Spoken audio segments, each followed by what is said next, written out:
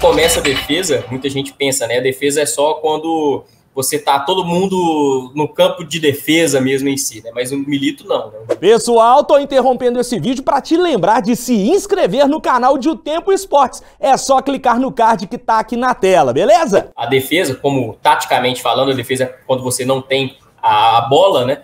E o Milito começa a defender justamente lá no campo de ataque, né? É um cara que é. pressiona muito a saída do adversário, né? Nos últimos sim, trabalhos sim. dele, ele mostrou muito isso, né, Bruno? Sim, sim. Inclusive, ele, ele, ele, fazia uma pressão alta com até cinco, cinco jogadores. O normal, você vê, o Atlético mesmo fazia por, com quatro, né? Uhum. Tentando fechar as duas laterais e dois no meio. Às vezes ele fechava com cinco, porque sempre vinha um jogador, tá sendo, sendo muito, chama aquela saída lavolpiana, né? Que vem um jogador do meio de campo para ajudar nessa saída. Aí ele puxava mais um meia para acompanhar ele. Então, no final das contas, era uma pressão com cinco.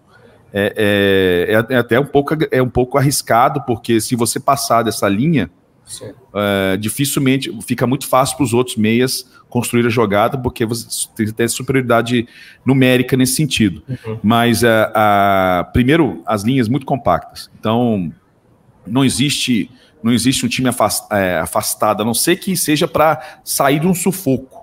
Né?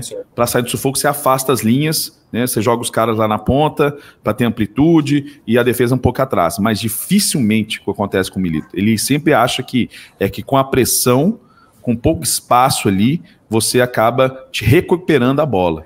Então, é, a ideia é ter a bola.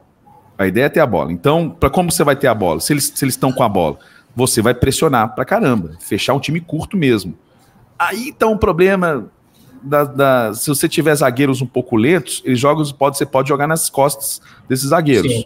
Cara, eu mas penso até que falando de zagueiros, o, o Milito possa até pedir para o Atlético uma contratação. Eu vejo como dentro desse estilo de jogo dele como algo justificável. Você pedir um jogador para o sistema defensivo é, pensando nesse jeito de jogar, um cara mais rápido, um cara que participe melhor até da construção também talvez seja um perfil que o Atlético vai buscar no mercado aí nas próximas janelas.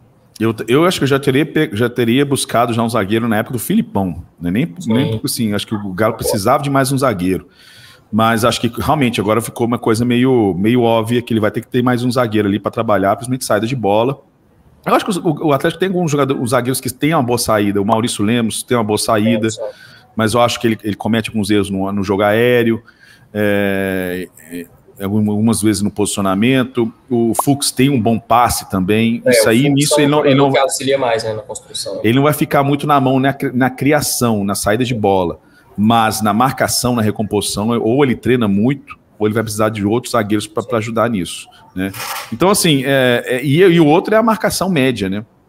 é, a marcação média ali do meio de campo, ele povoou o meio de campo, né? Uhum. Então, ele variava assim, se, se, se, o adversário trabalhava com uma linha de quatro, às vezes ele, trabalha, ele deixava só um atacante lá na frente e povoava o meio de campo, né? Com os dois alas e, e, e três meias que, que funcionam box to box quase uhum. o tempo inteiro, né? Porque o time tem que ser compacto, então se não for box to box não adianta.